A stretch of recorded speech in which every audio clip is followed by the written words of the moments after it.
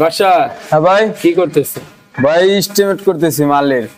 মালে জি ভাই এস্টিমেট করাটা কত যে কষ্ট ভাই আপনার সাথে আজকে না গেলে বুঝতাম না ঠিক আছে? আচ্ছা। এইভাবে কালকে এক দুপুর বইরা লেখলাম। আবার আজকে দশ তলায় উঠে আপনার লগে। মাল হিসাব করলাম চেক আপ দিলাম কোন জায়গায় কয়টা লাগে। এর ফাঁকে কিন্তু কাজও করছি কাজও করছি হ্যাঁ। দুপুরের আগে। প্রতিটা বাথরুমে যায় চেক দিচ্ছি পরে আমি লেখতাছি আমি যোগ কইরা কইরা। আপনি কেমনে করেন এতগুলা ভাই? আপনার জায়গায় আমি থাকলে আমি আপনার পাগলা কারও থাকতাম। পরিশ্রম করতে হবে ভাইয়া। হ্যাঁ ভাই। পরিশ্রম করতে হইলে পরিশ্রম হইছে মনে করো যে সুফলের চাবিকাঠি হ্যাঁ তুমি যত পরিশ্রম করবা ইনশাল্লাহ আল্লাহ পাক তোমার ওই পরিশ্রমের ফল দিবে।